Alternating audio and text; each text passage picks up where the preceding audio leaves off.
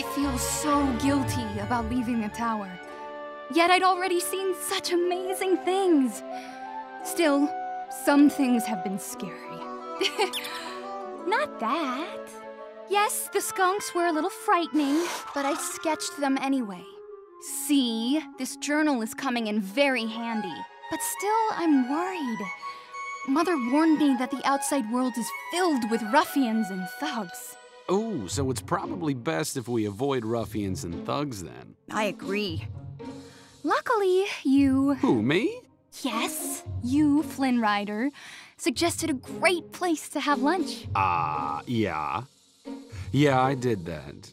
the snuggly...